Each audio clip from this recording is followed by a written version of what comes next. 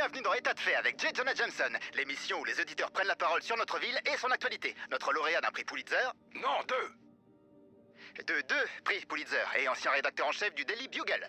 Le bouquin, le bouquin Et, et comme toujours, si vous commandez l'ouvrage de Monsieur Jameson, Spider-Man, Danger ou Menace, dans les 24 heures suivant la diffusion, vous recevez un exemplaire dédicacé sans frais supplémentaires. Mais pas d'autographe à votre nom, c'est pas la peine de réclamer. Bienvenue dans État de fait, avec J. Jonah Jameson, qui vous alerte sur les menaces dont vous n'avez même pas conscience. Vous êtes à l'antenne. Parlez Bon, alors malgré vos opinions, on peut dire que Spider-Man a fait du bon boulot en arrêtant Wilson Fisk. C'est vrai, une crapule en moins, tout le monde y gagne. Ben voyons. Dites-moi, vous êtes quoi euh, Policier Procureur Ou comme moi, un journaliste chevronné récompensé par deux Pulitzer? Ah non, non, je suis plombier. Oh, super Alors réparez mes toilettes et fermez-la Je vais vous expliquer un truc sur les barons du crime. Dès qu'il y en a un qui tombe, tous les barjots avec un flingue, un survêt et une chaîne en or se prennent pour le nouveau parrain. Ça va être la guerre des gangs dans la rue. Et vous croyez que ça lui fait quelque chose à ce crétin masqué? Il s'en tape Il est passé à la télé. C'est tout ce qui compte. Ouais, bah n'empêche que je peux me fournir en tuyau de cuivre sans verser de bac chiche. Alors en attendant votre guerre des gangs, moi je soutiens l'araignée. Et vous changerez de disque quand trois nouveaux gangs viendront vous faire payer trois fois vos tuyaux. Ou vous casser les jambes. Bonjour chez vous. Mes fidèles auditeurs, qui se font appeler les têtes de brosse, j'ai jamais trop compris pourquoi, se souviennent de ma mise en garde contre le système de surveillance anti-crime, le Big Brother, que la ville voulait mettre en place. Eh bien, il ne marche pas. Vous me demandez pourquoi? Parce qu'un homme plein de bon sens a réalisé que c'était une atteinte aux libertés civiques? Non parce que ces incompétents de bureaucrates ont bâti un réseau qui plante plus qu'un jardinier hyperactif, plus instable qu'un poivreau dans une auto-tamponneuse. Pas de bol pour les dollars des contribuables. Ils ont tout balancé par la fenêtre. Bienvenue dans le monde réel, les enfants. C'est notre seule version du happy end. Et maintenant, les mails des auditeurs. May du Queens nous écrit. Vous êtes rempli de colère et vous devriez consulter quelqu'un, c'est très mauvais pour la santé. Je sais bien que ça part d'un bon sentiment. Mais je me dois de corriger cette idée reçue que j'entends régulièrement. Je ne suis pas rempli de colère, je suis rempli d'amour. Je dénonce l'injustice, la corruption et les crimes contre l'humanité parce que j'adore cette ville et je veux qu'elle aille mieux. Ce que vous entendez dans ma voix là, c'est rien que de l'amour. Incroyable, je crois qu'on a au bout du fil une auditrice béotienne qui pense que Spider-Man nous a tiré du pétrin. Voyons si je peux lui remettre les idées en place. J. Jonah Jameson, vous êtes à l'antenne. Oui, je voulais juste vous dire que Manhattan ne m'avait jamais semblé aussi calme et aussi sûr. Rappelez-vous comment c'était avant l'arrivée de Spider-Man. Très bien, d'accord, comparons. Avant, on avait des policiers et des pompiers qui faisaient un travail formidable. Il y avait des crimes, ok, mais ça restait dans leurs cordes. Bien sûr, on a des trucs aujourd'hui qui n'existaient pas à l'époque. Des tarés qui lancent de l'électricité avec leurs yeux, des tas de sable qui marchent, des abeilles nazies Spider-Man les a tous envoyés en prison, non? C'est pas la question Ils n'existaient pas avant que ce taré débarque. Au mieux, il les attire, mais je me demande souvent s'ils ne sont pas de connivence. Waouh J'avais jamais entendu quelqu'un prononcer connivence. Écoutez, ce que j'en dis, c'est que j'ose pas imaginer ce qui se serait passé si tous ces gars s'étaient pointés en l'absence de Spider-Man. Encore une cause perdue. Au revoir. Vous avez peut-être entendu parler du braquage à la salle d'enchères Roseman. Ce qui vous a peut-être échappé, et mes sources le confirment, c'est que les malfaiteurs portaient des masques. Des têtes horribles, démoniaques. Nouvelle illustration du raz-de-marée de criminels masqués depuis l'apparition de Spider-Man. Et vous, qu'en pensez-vous? J. Jonah Jameson, vous êtes à l'antenne. Ouais, ouais, ouais, je comprends ce que vous dites. Mais Spider-Man, il a arrêté ces types. Vous le rangez dans le même panier juste parce qu'il porte un masque. C'est c'est un préjugé. Faux Une petite leçon de vocabulaire juste pour vous. Préjuger une personne signifie qu'on la juge avant de savoir quoi que ce soit à son sujet. Mais je sais tout ce que j'ai besoin de savoir sur Spider-Man. Il met la pagaille aux quatre coins de la ville. Il porte un masque pour ne pas avoir à répondre de ses bourdes et un costume tape à l'œil pour attirer l'attention sur son ego démesuré. Alors imaginons que je sois un déséquilibré et que moi aussi je veuille qu'on parle de moi dans les médias. Eh bien, je vais faire tout comme lui. Et New York court à sa perte. Chers auditeurs, Je dois encore me défendre face à des affirmations fallacieuses de MacDonald McGargan, alias le Scorpion. Oui, comme je l'ai déjà révélé, j'ai financé l'expérience qui lui a donné sa force, sa vitesse et son horrible cœur robotique. Le but était de créer un anti-Spider-Man afin qu'il lutte contre les menaces. Comment pouvais-je savoir qu'il était fou? Vous croyez qu'il avait écrit sur son CV psychopathe obsédé par le poison Son procès est une tentative évidente de réduire la durée de sa détention au raft en m'accusant, moi, de ses méfaits. Mais non, non, non, non, non. J. Jonah Jameson n'acceptera jamais ça je me suis toujours battu pour la vérité. Quand j'étais journaliste et rédac chef d'un journal, j'imprimais la vérité. Et aujourd'hui, derrière un micro, je la diffuse. Parfois c'est douloureux, mais c'est ma responsabilité de vous la livrer. Et la vérité, c'est que cette ville n'est pas calme, elle n'est pas paisible, c'est une catastrophe prête à éclater. Les dangers naviguent entre deux eaux, tels des requins affamés sous la surface. Ne vous laissez pas berner par Spider-Man. Vous n'êtes pas à l'abri, tout le monde est concerné. Beaucoup d'entre vous me demandent ce que je pense du maire Norman Osborn, mais ce qui compte, c'est ce que vous pensez, vous. On va prendre un premier appel. J. Jonah Jameson, vous êtes à l'antenne. Bonjour, je trouve que Monsieur Osborne fait du très bon travail. Il a nettoyé la ville et développé l'économie. Avec tout le respect que je dois au maire et à sa fonction, c'est la police qui a nettoyé la ville. Et les entrepreneurs qui ont favorisé l'économie. Alors oui, j'approuve nombre des initiatives du maire, comme la chasse au crime, ou la qualité de vie et la réduction de la paperasse. Mais je crois également qu'il s'attribue le mérite du travail des autres. Il est ambitieux, ce qui n'est pas mauvais en soi. Mais comme je le dis toujours, méfiez-vous des gens qui ont un objectif. Avant, on avait la presse qui veillait au grain sur l'honnêteté des hommes politiques. Mais elle n'est plus que l'ombre d'elle-même. Aujourd'hui, il ne vous reste plus que... moi. J'ai mon mot à dire sur le désaccès en costume qui a complètement ravagé une banque. Quoi, vous pensez que je parle d'Herman Schultz Oh non, je parle de Spider-Man Écoutez, Schultz est un criminel patenté, on sait qu'il est ma boule. Quand même, il se fait appeler Shocker. Alors j'attends pas de lui un comportement civilisé. Tandis que Spider-Man prétend être un héros. Oui, bah, vous expliquerez ça aux employés de banque qui se retrouvent à la rue, aux clients qui avaient entreposé leur trésor de famille irremplaçable dans des coffres. Il n'aurait pas pu attendre, je sais pas moi, que, que Schultz soit dehors pour commencer à se battre.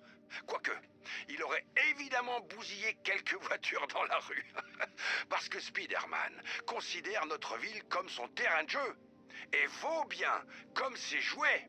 Et ses jouets, il adore les fracasser. Mes amis, je viens de recevoir des nouvelles d'Adrian Tooms, alias Vulture. Apparemment, ce criminel ailé a un cancer et a été déplacé à l'infirmerie du Raft pour être traité, ce qui coûte certainement une fortune financée par les fonds publics. Permettez-moi de vous demander ceci. Pourquoi une infirmerie au Raft? C'est une prison de très haute sécurité, bourrée de psychopathes. S'il tombe malade, laissons la nature faire son œuvre. Et si vous trouvez ça choquant, attendez de voir ma feuille d'impôt. Combien de fois ai-je dit et répété que Spider-Man devrait laisser la police faire son travail? Au moins six fois par jour. Et encore, quand je suis de repos. Figurez-vous que pour une fois, c'est bel et bien ce qui s'est passé lorsque l'agent Jefferson Davis a empêché un camion rempli de criminels armés de faucher des passants. Et Spider-Man dans tout ça, me demanderez-vous? Où était le champion autoproclamé de la ville? Ah mais c'est lui qui a déclenché cette course-poursuite digne d'un film des années 80. Mais il aura fallu un véritable héros pour y mettre un terme. Dieu merci, l'agent Davis qui était sur place a pu sauver toutes ses vies malgré l'interventionnisme de Spider-Man. Jefferson Davis, vous méritez le temps convoité signe de tête de J. Jonah Jameson en guise de respect. Voilà, je l'ai fait. Tous les journaux en parlent, encore un affrontement entre Spider-Man et les tireurs au masque de démons qui menacent des New-Yorkais innocents. Je crois que notre prochain témoin vit dans le voisinage. J. Jonah Jameson, vous êtes à l'antenne. Ouais, euh, alors le truc, c'est que ça s'est passé dans un chantier fermé depuis plusieurs années. Du coup, il n'y avait pas d'innocents en danger. Oh, c'est ça votre avis éclairé sur la question Alors laissez-moi vous dire ce que m'ont appris mes sources, de journalistes, qui a derrière lui une longue carrière, et de Pulitzer.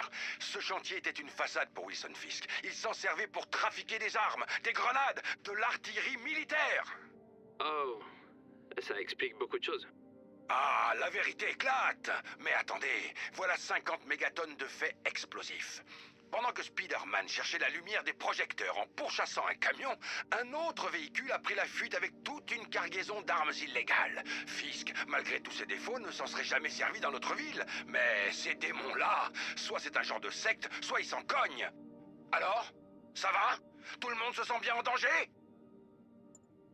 Un combat contre un hélico, qui tractait une grue, au-dessus d'une rue surpeuplée où il aurait pu s'écraser à tout moment dans un déluge de rotors acérés et de flammes apocalyptiques. Vous pensez toujours que Tête de Toile protège les citoyens comme vous Auditeur suivant? Bah, il a arrêté les bandits. Et il a fait en sorte que l'hélico ne s'écrase sur personne, alors ouais, je dirais qu'il a fait ce qu'il fallait. Ce qu'il fallait? Ce qu'il faudrait, c'est appeler les professionnels. Mon fils est fier de servir dans l'Air Force. Il a des milliers d'heures de vol au compteur et il s'entraîne à protéger notre nation depuis plusieurs années. Et lui serait pas à la hauteur?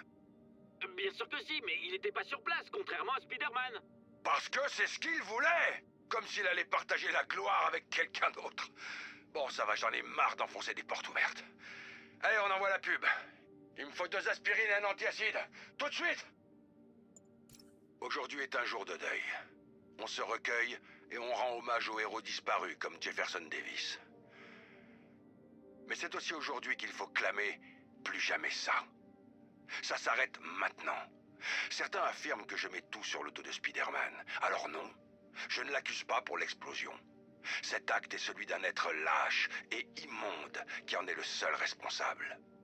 Mais si nous voulons continuer à protéger New York, nous ne pouvons plus tolérer l'anarchie dont Spider-Man et son engeance font la promotion. Ceci est notre ville. Et, nom de nom, nous allons la reprendre. Nous avons en ligne un auditeur très spécial qui va nous donner des informations exceptionnelles. Eh oui, c'est l'endroit idéal pour ça. Monsieur le maire, merci d'avoir appelé.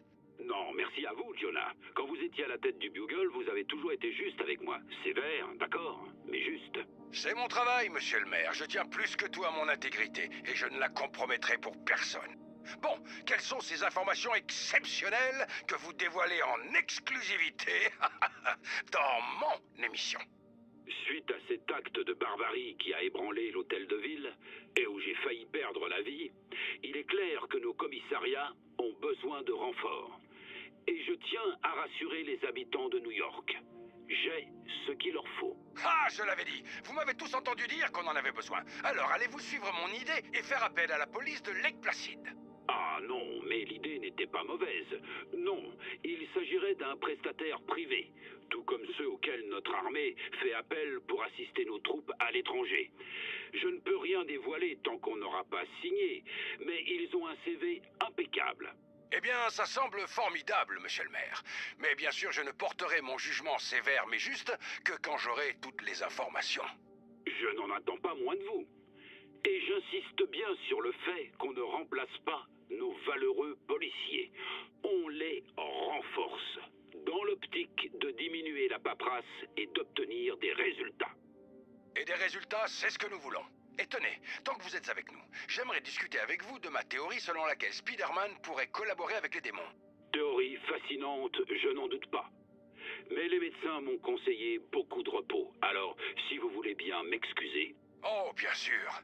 Merci d'avoir appelé, monsieur le maire. Rappelez-nous quand vous voulez. Jared Vous avez entendu Sévère mais juste C'est notre nouveau slogan Et je me fous que ce soit déjà pris Hein, on s'en fout Flash spécial, ça vient de tomber. D'après mes sources dans la police, les démons seraient les suspects numéro un de l'explosion à l'hôtel de ville. Si c'est bien le cas, je retire ce que j'ai dit sur l'innocence de Spider-Man dans cette affaire. Il serait, au minimum, partiellement responsable. Car l'élimination brutale de Wilson Fisk a créé un appel d'air dans lequel les démons se sont engouffrés, telle une ignoble toxine. Les actions ont des conséquences, les amis. Chose que Spider-Man n'a jamais comprise. Honnêtement, Triple J, je pensais que vous exagériez les dangers qui menaçaient la ville. Mais depuis l'explosion à l'hôtel de ville, je dois bien admettre que vous aviez raison. Beaucoup d'auditeurs me disent la même chose. Ils me félicitent. Mais je suis pas là pour qu'on me félicite. J'aurais adoré avoir tort. Ou mieux encore, que ceux qui sont au pouvoir m'écoutent et fassent quelque chose. Mais on ne m'a pas écouté. Et je pense pas que ça changera. À moins que des citoyens engagés, comme vous et moi, fassent suffisamment de vacarme. Manifestez-vous. Reprenez votre ville. C'est notre seule et unique garantie de justice. En plus d'écouter mon émission tous les jours. J'ai reçu une information intéressante aujourd'hui. Vous vous souvenez de ce monstre qu'on appelle Rhino? Eh bien apparemment il a failli s'échapper de sa cellule du raft la nuit dernière. Alors comment, me direz-vous? Eh bien personne ne semble le savoir. Mais on m'affirme qu'il a été déplacé dans une cellule plus sécurisée.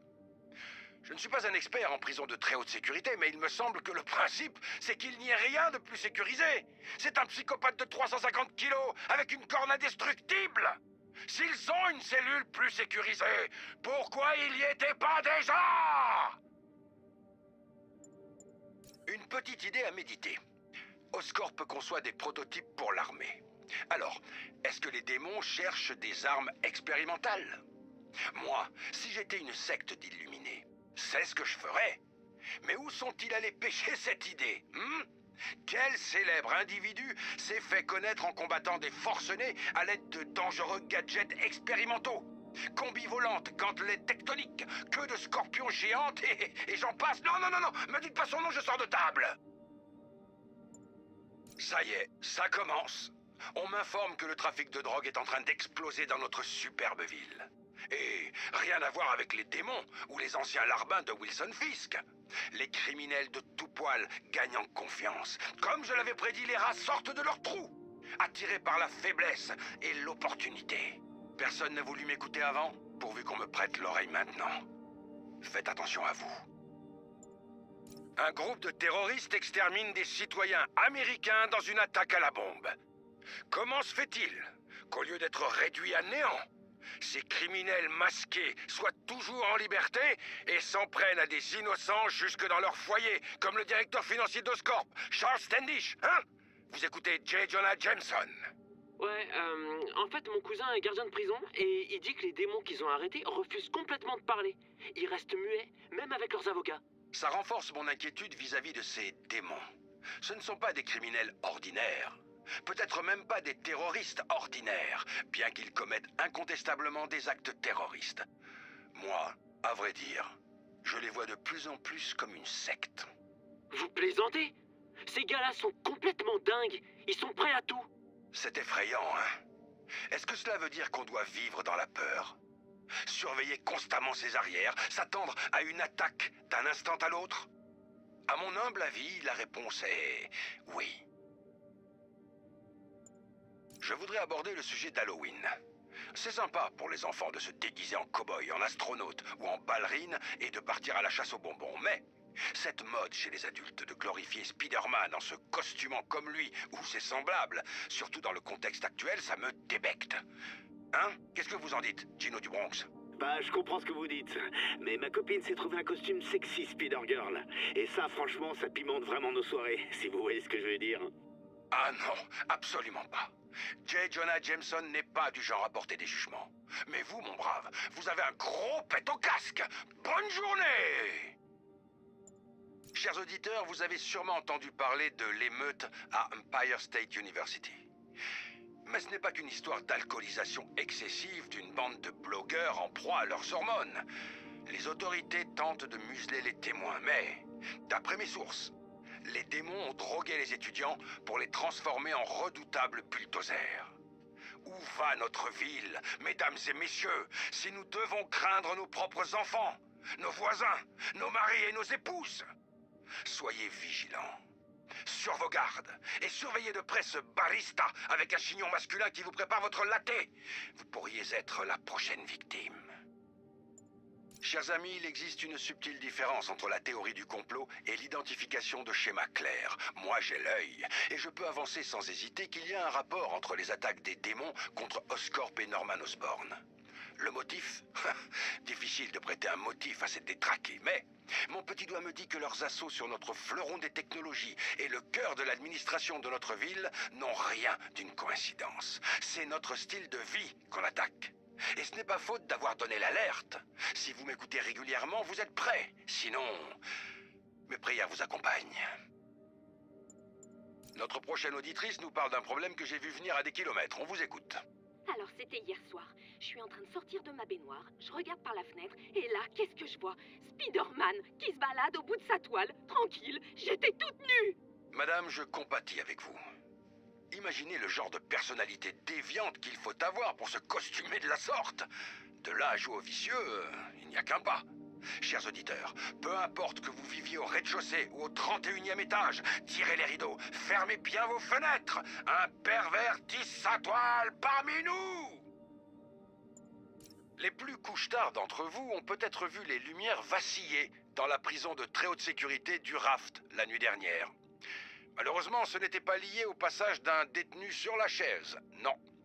Il semblerait que quelqu'un de là-bas ait eu l'idée judicieuse de faire payer son séjour à Electro, criminel multirécidiviste, afin d'économiser l'argent du contribuable. Cependant, comme on pouvait s'en douter, Electro déteste le travail honnête autant qu'il aime voler et tuer. Et la prison a dû se rebrancher au réseau urbain.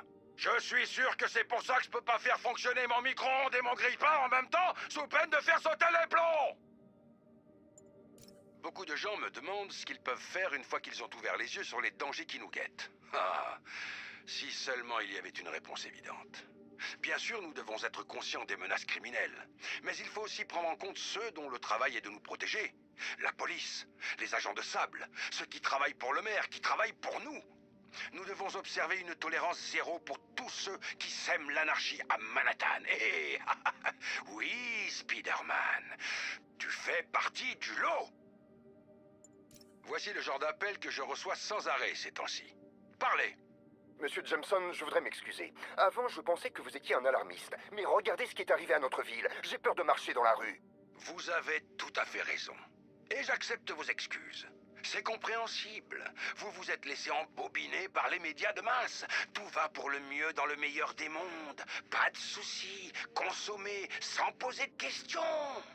Je n'étais qu'une voix solitaire et isolée à l'époque, mais désormais, de plus en plus de gens comme vous réalisent d'où sort la vérité. Et c'est comme ça, mes amis, que nous allons reconquérir notre ville.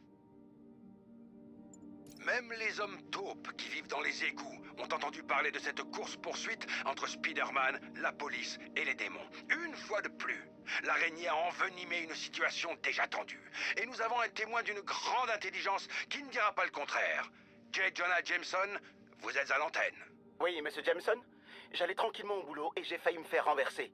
On dit que Spider-Man a sauvé la personne kidnappée. Très bien, tant mieux. Mais moi, j'aurais pu me faire tuer. Vous n'êtes pas le seul. C'est le problème avec Zinzin masqué. Les forces de l'ordre coordonnent leurs efforts, bloquent des rues, posent des herses, bref, c'est une équipe. Spider-Man est un nombriliste qui ne pense qu'à une seule chose, Spider-Man. Et vous avez failli le payer de votre vie.